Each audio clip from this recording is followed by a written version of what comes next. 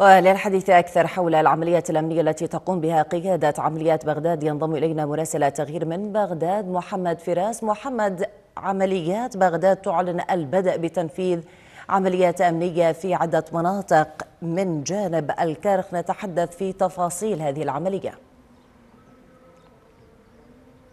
نعم ضمن مرحلة فرض القانون والتوجه نحو حماية السلم المجتمعي وبث روح الأمان بين البغداديين. أجرت عمليات بغداد وزارة الداخلية ب وأيضا الصنوف التابعه لوزارة الداخلية من الشرطة الاتحادية من مكافحة الجريمه من حتى مديرية المرور كانت مشتركة في هذه العملية. أجرت عملية أمنية في مناطق شمال العاصمة بغداد في جانب الكرخ. أتحدث عن جكوك قرب منطقة أو قرب مدينة الكاظمية. أتحدث عن منطقة التاجي الشمالي والعشوائيات القريبة منها. أيضا منطقة الطوائل. هذه العملية الأمنية التي هي سلسلة لعمليات أمنية قد بدأت في منطقة البتاوين وكانت نتائجها واضحة ومعلنة وهي إلى الآن مستمرة وأثمرت عن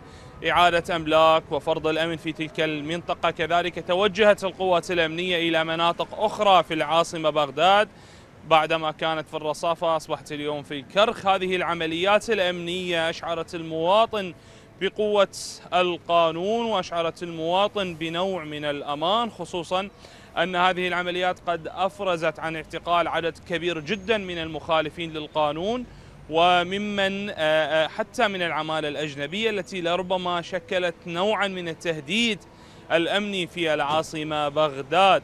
هذه العمليات الأمنية لن تنتهي إلى هنا بحسب تأكيدات وزارة الداخلية وقيادة عمليات بغداد بل أنها مستمرة أيضا وستصل إلى جميع معاقل المخالفين للقانون واعتقالهم وتنفيذ مذكرات إلقاء قبض بحقهم.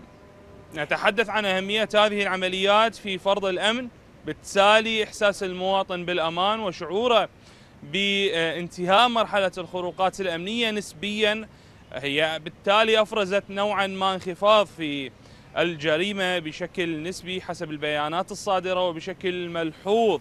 هذه العمليات لاقت إشادة ولاقت تأييد من الشارع البغدادي خصوصا أنها مهمة كما تحدث لفرض الأمن في جميع مناطق العاصمة بغداد وأيضا فرض القانون وإيقاف المخالفين. المخالف للقانون لا حقيقة يتوانى عن مخالفته مجددا إن ترك على ما يفعله خصوصا أن ما اعتقلت القوات الأمنية اليوم هي هم من المحتازين للأسلحة بشكل غير قانوني وأيضا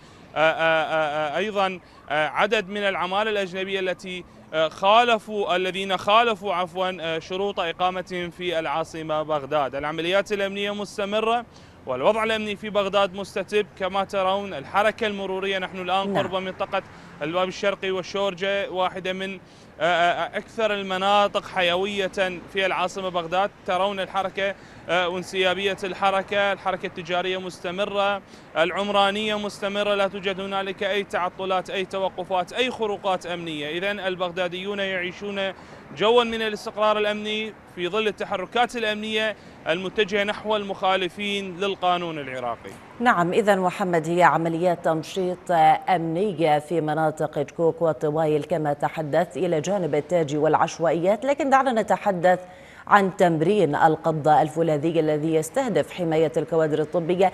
جاءت هذه العملية لربما بعد مطالبة عديدة من الأطباء والعاملين في القطاع الصحي من أجل حمايتهم بعد تعرضهم للعديد من الاعتداءات. نتحدث عن هذه العملية. نعم في البدء دعوني أتحدث عن الاعتداءات على الكوادر الطبية في البدء التي عانت منها كثيرا المؤسسات الصحية. حينما تحدث هنالك حالة وفاة في المستشفيات العراقية يتجه أهالي المتوفي نحو الأطباء ورمي التهم على أنهم مقصرين. وبالتالي يحدث هنالك اعتداءات على الكوادر الطبية والتي كانت لربما لسنوات عديدة. هذه العملية التي تهدف لحماية الكوادر الطبية بالدرجة الأساس. لها أهميتها وثقلها من ناحية توفير غطاء أمني للجيش الأبيض خصوصا أنه هو يعني الجيش الأبيض له من الأهمية ما يستدعي الالتفات خصوصا ان واجبهم هو إنساني.